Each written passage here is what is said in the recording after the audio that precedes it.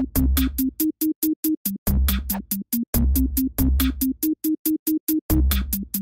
Right around 2015, things were going amazingly well for Under Armour. They were seen by many as this cool, comparatively new athletic brand. They had recently surpassed Adidas to become the second largest brand in the US, and uh, personally, I can say that around that time is when I started seeing that logo everywhere. And that's a good logo too, with the symmetry from the U and the A connected to each other. However you want to measure it, by sales, by profit, by market share, they were one of the fastest growing companies in the country, and then they ran into trouble. Now, I don't want to mislead anybody and make you think that they were barely hanging on by a thread or anything like that, but the brand did start losing some power and things took a considerable turn. When you look at the graph, we can clearly see how much their sales growth slowed down, and then when we isolate the North American sales, their biggest market, and likely where most of the people watching this video are, they actually started decreasing and continued to do so through 2020. Meanwhile, Adidas continued growing and took over that number two spot. Also, they started reporting net losses for the first time ever. It caused many investors to lose confidence in the brand, evidenced by how much their stock price fell from its all-time high in 2015. If you had invested $100 in Under Armour at the end of that year, it would not have been a good investment. You'd be down to $41 by the end of 2020, which is much worse than most comparable companies or the market in general. I think we can say that after such an impressive streak, Under Armour found itself in some major trouble, and they've been trying to address it. They went through a series of leadership changes, notably their founder and longtime CEO, Kevin Plank, stepped down from that position in 2019. It was less than a year after they announced this big five-year turnaround plan that has been showing some promise. So in this video, I want to talk about what's been going on with Under Armour, how they grew so large, what went wrong, and how they've potentially been making a comeback. Today, we associate Under Armour with all sorts of athletic apparel and footwear, but the company itself and the name of it stems from the invention of a single product. It goes back to the mid-90s when Kevin Plank was a college football player for the University of Maryland. In short, like everyone else at the time, he was wearing basic cotton t-shirts underneath his football gear and was becoming upset with how ridiculously sweaty they were getting. I mean, that can get so uncomfortable and literally weigh you down to a point where it could start to impact your performance. His solution was to create a new t-shirt out of the synthetic fabric that would be more form-fitting, lighter, and ultimately cooler. He got some help to get the prototype together, tested it out on his teammates, and ended up with a shirt that he felt was promising enough to start a company that would manufacture and sell them. His starting capital was mostly provided through 40 $1,000 in credit card loans. He would use the money to make the shirts out of his grandmother's townhouse and then attempt to sell them to equipment managers of college sports teams, partially by driving samples out to them using his own car. As far as naming the company, it's kind of funny. He originally wanted to call it Heart and then Body Armor, but had trouble with those trademarks. Then I guess one day his brother asked him something like, uh, What's going on with that company of yours? Uh, what's it called? Uh, Under Armour? Like in a sarcastic way, but Plank liked it so much he instantly went out to fill the paperwork for it, and that was it. Oh,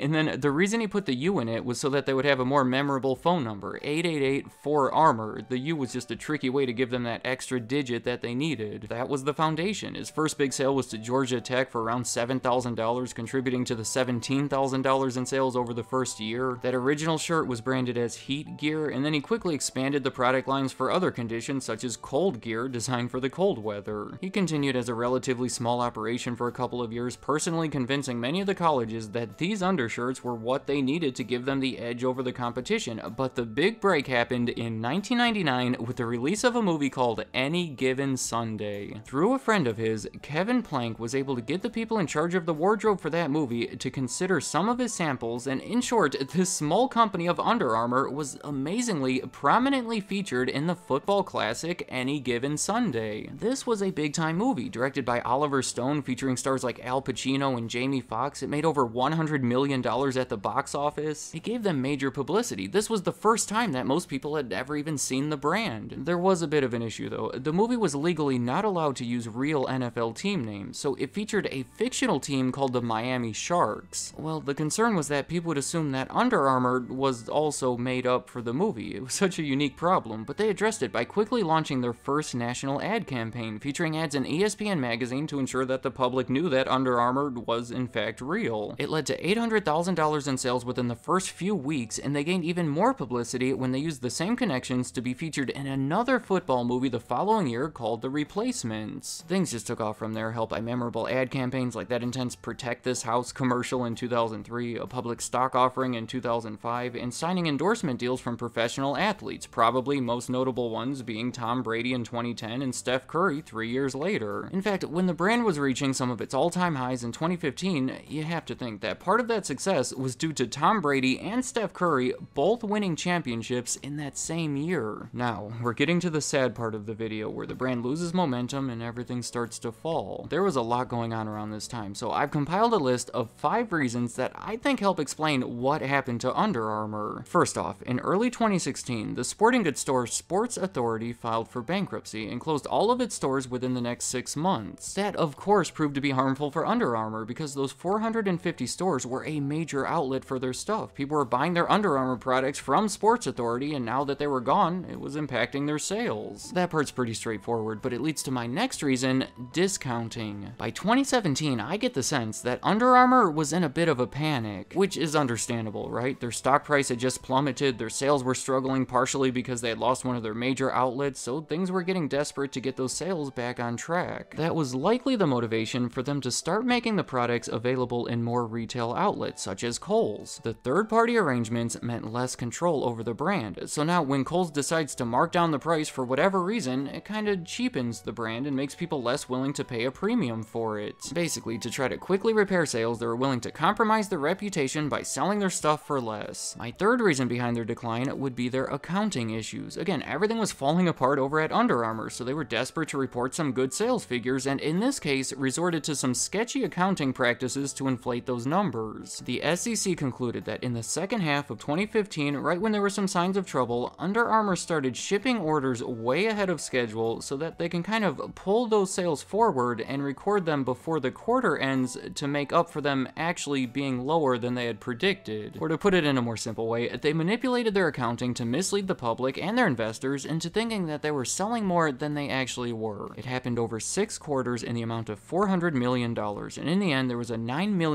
settlement paid. Obviously, yet another ill-advised way to address their troubles that only made things worse. The next reason I have on my list is some aspects of their corporate culture that were put into question around this time. I guess the most famous one being in 2018 when it was exposed that the company would often reimburse their employees after visiting strip clubs. Kevin Plank himself was even among these people that would be reimbursed. They did put an end to it, saying that they would work toward making their workplace more respectful and inclusive, but it was a big story, and I'm sure many people think less of the brand because of it. Then finally, my last reason behind their decline would be their avoidance of athleisure clothing. In case you're not familiar with the term, athleisure has become a big trend in fashion. It's defined as casual clothing designed to be worn both for exercising and for general use. Competitors like Nike and Adidas have taken full advantage of it, while Under Armour has for the most part avoided it. Their focus has been much narrower, targeting serious athletes with clothing that emphasizes performance rather than comfort. Honestly, it's hard to say what the right answer is here. I think it's smart to have a unique identity and to avoid sacrificing it for a trend like that, but on the other hand, many people have criticized them for it, saying they're essentially leaving money on the table. There are people out there that would buy it, so why not just sell it? And then, of course, during the pandemic, this decision made them especially exposed. The sports league shut down, the gyms closed, meanwhile, so many people were lounging around the house. I'm just saying, it was a much better time to be selling athleisure rather than performance clothing. So I think that's a decent account of where things went wrong over at Under Armour, but things may be getting better. As I mentioned earlier, they've been bringing in new executives and following this five-year recovery plan that's been showing signs of hope. Obviously, the gym's reopening and everything along those lines has been helpful, but aside from that, they've been working towards strengthening the brand and lowering their cost with the goal of becoming profitable again. They were all set to spend a lot of money on this big flagship store in New York City, but delayed the plans for it. They've been ending many of their college sponsorships, such as the $280 million deal that they had with UCLA. They ended this multi-million dollar a year licensing deal with the NFL. And then as far as strengthening the brand, they set plans to stop selling their stuff at 2,000 to 3,000 retailers across the country in favor of taking control and selling it directly to consumers through their website and through their physical Under Armour stores. I also want to mention that they sold their app called MyFitnessPal actually at a loss. That app was more geared toward casual everyday fitness, so it suggests that they're moving even more toward the market of the serious athletes, doubling down on a strategy that many have criticized, but there could could be a long-term benefit there. And so far, it seems like these efforts have been effective. Their North American sales in 2021 had their first increase and are at their highest since their peak in 2016. But possibly even more important, their profits for the year were higher than they had ever been before, suggesting that Under Armour is well on their way to a respectable comeback. Let me know in the comments, what has been your experience with Under Armour? When did you first learn about them? Have you worn their products, or maybe you've shied away from the brand? I'd be